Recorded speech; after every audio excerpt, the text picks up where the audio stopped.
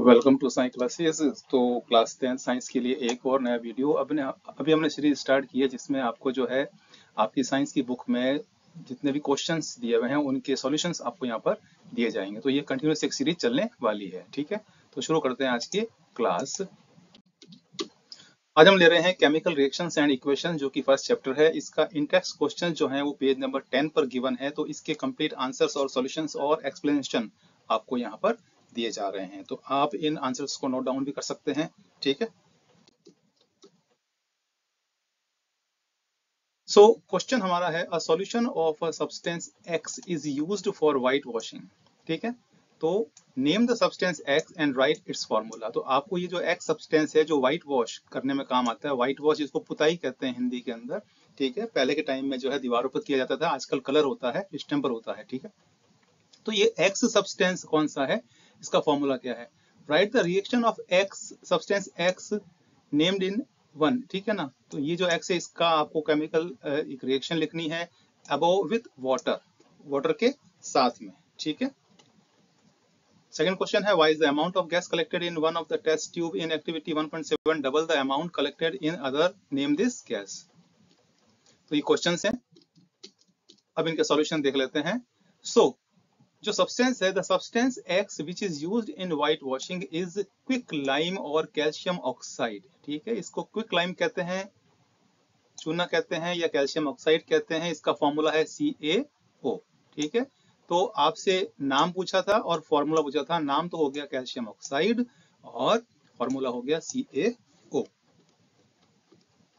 अब इसकी रिएक्शन आपको देनी है तो कैल्शियम ऑक्साइड है सब्सटेंस इसकी वाटर से रिएक्शन है तो फॉर्मेशन होता है कैल्शियम हाइड्रोक्साइड का, जिसको कि स्लेक्ड लाइम कहते हैं बुझा हुआ चूना कहते हैं, और इसी का यूज़ व्हाइट वॉशिंग में करते हैं। ठीक है? So, second question is, why is the amount of gas collected in one of the test tubes in activity 1.7 double? The amount collected in other name the gas. ठीक है? एक तो बताना है कि आपको जो एक्टिविटी 1.7 है, उसमें एक टेस्ट ट्यूब में गैस का अमाउंट ज़्यादा होता है दूसरे में कम होता है और वो गैस कौन सी है? ठीक है ना? सो so, तो आंसर इसका ये है in activity 1.7 gas collected in one of the test tubes is double of the amount collected in other ठीक है? Because water gets hydrolyse to release hydrogen and oxygen gases ठीक है? जब इस एक्टिविटी के थ्रू हम वाटर का electrolysis करते हैं या हाइड्रोलाइज करते हैं तो उससे हाइड्रोजन और ऑक्सीजन गैस का फॉर्मेशन होता है।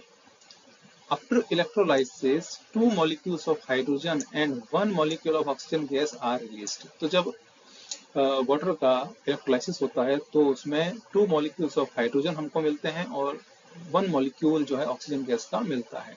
Hence the amount of hydrogen collected would be double than that of oxygen ठीक है? तो ये एक्सपेरिमेंट इसके अंदर है। तो इसमें जो है, ये हम जो है, इसमें वाटर का इलेक्ट्रोलाइसिस कर रहे हैं, जिसमें ये इलेक्ट्रोड्स लगे हुए हैं और ये टेस्ट ट्यूब इसमें गैस इकट्ठा हो जाती है। तो यहाँ पर जो है, ये हाइड्रोजन गैस का अमाउंट ज़्यादा होता है और ऑक्सीजन गैस का अमाउंट कम होता है। ठीक है? बिकॉज़ वाटर का जब इलेक्ट्रो इलेक्ट्रोलाइसिस करते हैं तो हाइड्रोजन के दो मॉलिक्यूल बनते हैं और ऑक्सीजन का एक मॉलिक्यूल ही बनता है। ठीक है?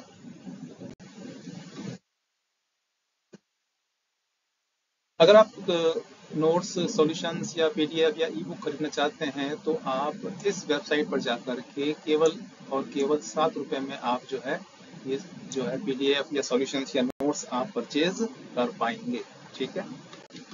चैनल पर जाकर के आपको अलग अलग प्लेलिस्ट मिलने वाली है, जहाँ पर आपके लिए काफ़ी यूजफुल कंटेंट है, जो आप जो है, उनके वीडियो देख सकते हैं। अगर आपको ये वीडियो पसंद आता है तो सब्सक्राइब कीजिए science classes by Navi Saxena and Himika Saxena. मिलते हैं अब नेक्स्ट वीडियो में।